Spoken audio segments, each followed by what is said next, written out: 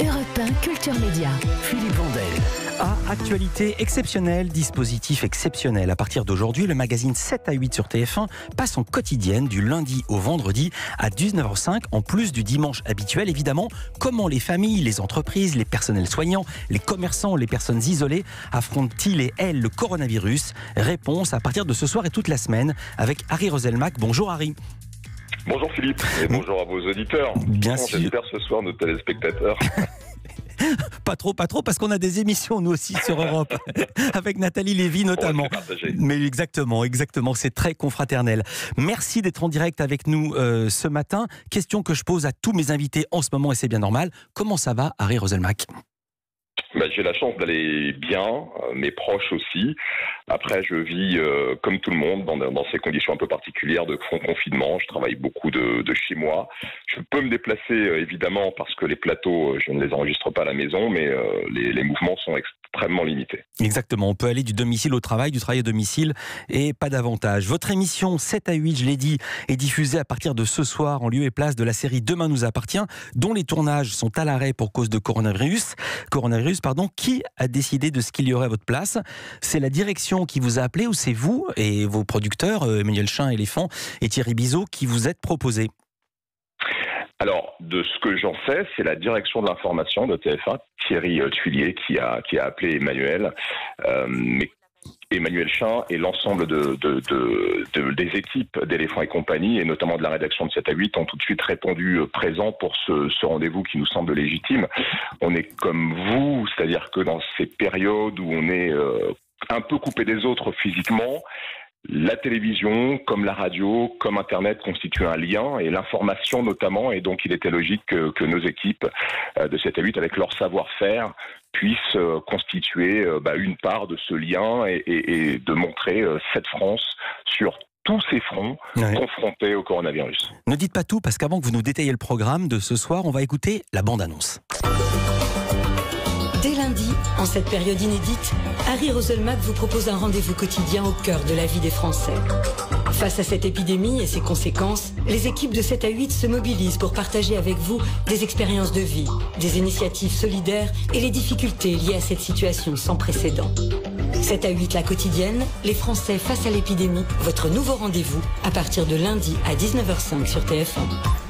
Alors la bande-annonce parle d'expériences de vie, d'initiatives solidaires, de difficultés liées à cette situation.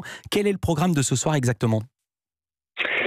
Euh, bah, le, le problème de ce soir, c'est une France qui s'est réinventée depuis sept jours maintenant, euh, une France qui euh, travaille différemment, qui qui vit différemment, qui se divertit différemment. Alors, par exemple nouvelles solidarités. Par exemple, vous Et connaissez déjà les le sujets ou ils sont encore en montage aujourd'hui toute la journée? Alors, c'est en- c'est encore en montage et ça, c'est l'une des nouveautés pour nos équipes, c'est qu'on va travailler sur une quotidienne et donc avec un, rythme et un flux qui sera euh, un peu différent de, de ce qu'on fait habituellement. Mais on sait évidemment euh, les endroits dans lesquels euh, nous avons tourné. Je peux d'ores et déjà vous dire qu'on va vous raconter la vie d'un immeuble parisien.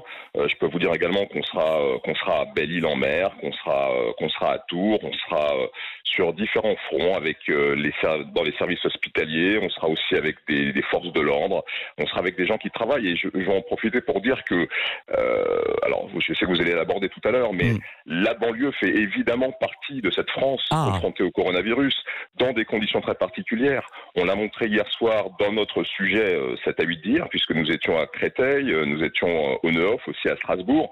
On a montré comment euh, l'application des règles de, confinement était particulièrement difficile dans certains quartiers, dans des appartements qui sont parfois pas très grands. Et ça, on va continuer à le montrer. Donc, on, on va vraiment montrer la diversité des situations, des difficultés, mais aussi des initiatives positives euh, qui, euh, qui font un peu cette période, cette parenthèse très particulière de la vie des, Français et de la vie de nombreux, de, nombreux habitants euh, dans de nombreux pays dans le monde aujourd'hui. En quoi le format sera différent de ce qu'on peut voir habituellement le dimanche?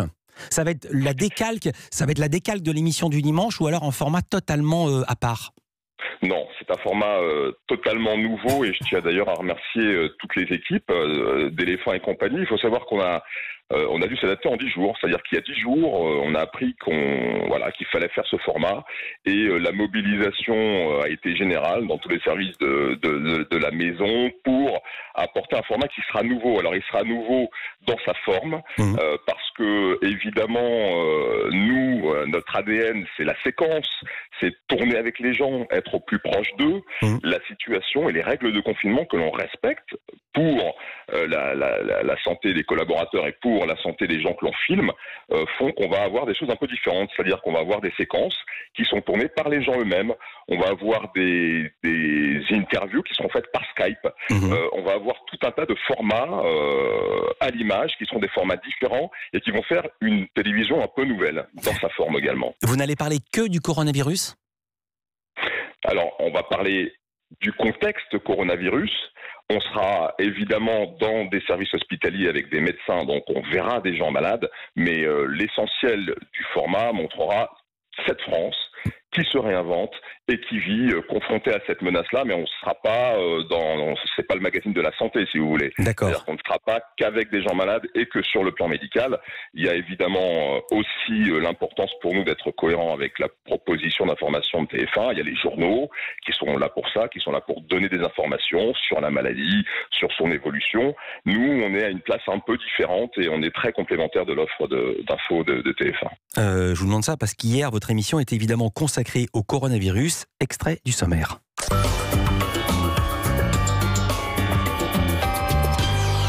Nous n'avions jamais vécu ça. Depuis six jours, la plus grande partie des 60 millions d'habitants du pays vit confinée à la maison. C'est la conséquence spectaculaire cette semaine d'une épidémie qui inquiète, notamment par l'ampleur de sa propagation, celle du Covid-19 ou coronavirus. Alors comment vit-on cette situation en fonction de son lieu de confinement? Valérie s'organise avec ses quatre enfants dans 80 mètres carrés. Chola s'improvise prof de maths pour sa fille de 13 ans. Et Claire-Lise retrouve sa maison après avoir été hospitalisée 12 jours dans un état grave. Nous sommes aussi à à la rencontre de ces Français qui travaillent à l'hôpital, dans la police et les commerces, malgré le stress lié au virus. C'est un document signé par la rédaction de 7 à 8. Vous tournez au jour le jour, Harry Roselmack, où vous savez déjà ce que vous allez faire toute cette semaine, comme quand vous faites l'émission dominicale, vous la préparez évidemment en amont. Ou est-ce que là, on est tellement dans une situation délicate et inédite pour tous les médias, les télévisions comme les radios, que c'est vraiment au jour le jour? Alors, ce qui va faire la différence avec euh, les JT dont je parlais tout à l'heure, c'est que nous, on va être à J plus 1 ou J plus 2 par rapport à nos tournages. C'est-à-dire qu'on ne va pas tourner le jour même ce qu'on va diffuser le soir. Encore une fois, on n'est pas dans une proposition d'information news, on est dans l'avis euh, des Français. On peut se permettre d'avoir un jour de, décalage par rapport à ce que l'on tourne et ce que l'on met à l'antenne. Donc on, a cette soupape de sécurité. Il faut savoir que fabriquer euh, un, magazine qui fera euh, de 35 à 40 minutes chaque jour, c'est un vrai défi logistique, c'est un vrai défi de production, c'est évidemment un défi éditorial et de travail de cette information, parce que même si je disais tout à l'heure, qu'on va avoir des séquences qui sont tournées par nos personnages, par les gens qu'on a castés et choisis. Le gros du travail, c'est évidemment de traiter ces séquences-là et de les intégrer dans un travail euh, éditorial qui est construit par, euh, par la rédaction en chef de, de 7 à 8. Et tout ça, ça demande euh, effectivement quelques heures. Donc ce serait très compliqué effectivement de tourner le matin ce qu'on diffusera le soir. On tourne à J-1, voire J-2. Exactement. Vous démarrez à 19h05, vous allez jusqu'au journal de 20h, parce qu'en plus la publicité commence à être réduite. C'est quoi le format? Bah, le format, oui, ça va être euh, ça va être ça, entre 35 et 40 minutes euh, pour euh, s'arrêter juste avant la météo et, et, le journal. Alors, je l'ai dit, vous ne serez pas sur votre plateau habituel à TF1, mais vous enregistrez dans les bureaux d'éléphants, c'est ça? La société de production d'Emmanuel Chin. Ça sera le même décor que vous avez reconstitué là-bas ou ce sera un décor neuf? Non, c'est un programme neuf euh, et donc ce sera euh, pas un Harry neuf. Désolé de vous l'annoncer. Euh, Harry, c'est Harry et il vieillit, il, sera, il rajeunit pas. Néanmoins, on aura effectivement un, décor neuf. dans l'idée, c'est d'être dans un maximum de proximité avec avec les gens. Donc, on sera dans un décor très naturel, qui sera un décor un peu voilà un peu cosy et qui sera un intérieur tout comme ce que l'on montrera, parce que la particularité aussi de ce qu'on va montrer, ben, c'est que qu'on est beaucoup en intérieur, parce que la vie aujourd'hui, elle se passe à l'intérieur. Attendez, vous avez de chez les gens et des bureaux. Évidemment, nous on n'a pas vu l'émission. Vous avez reconstitué un intérieur d'une, comme dans Friends, par exemple. Avec un canapé, une table Il y a un canapé, il y a un canapé, il y a des tables. Après, on n'a pas les moyens d'une de, d'une série de fiction, mais voilà, on a, on a essayé d'avoir comme ça un, environnement qui soit, qui rappelle un intérieur et qui soit cosy et, et qu'on soit en proximité avec les Français qui en ont bien besoin en ce moment. Pourquoi ce choix de ne pas tourner à TF1 C'était un choix de simplicité ou c'était un choix logistique pour raisons médicales c'est effectivement un choix qui est guidé par, euh, par le, devoir de limiter les interactions entre les gens. Euh, les médias, comme euh, l'ensemble de, de, de, de, la sphère médiatique, de la sphère entrepreneuriale, doit prendre effectivement des décisions pour limiter les interactions et TF1 limite les allées et venues parce que quand on enregistre une émission, c'est beaucoup de techniciens qui viennent de l'extérieur, c'est beaucoup de gens qui arrivent de l'extérieur et ça on évite pour, pour participer à cet effort national contre la propagation de, ce virus. Et également équipe renforcée pour vous, vous serez combien en plus? Alors, l'une des grandes forces de, de ce qu'on arrive à faire, c'est que on va être à peu près à effectif constant. Ce sont les équipes de 7 à 8 qui sont au cœur de ce dispositif.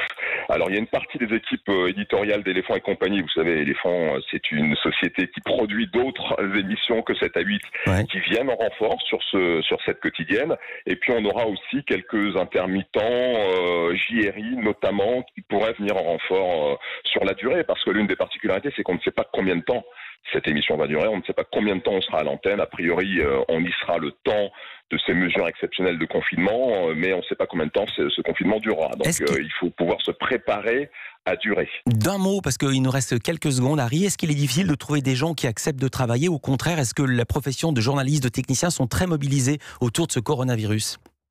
Non, comme dans tous les secteurs euh, qui travaillent aujourd'hui, on a plein de gens très courageux, très mobilisés. Je les remercie encore, je les félicite.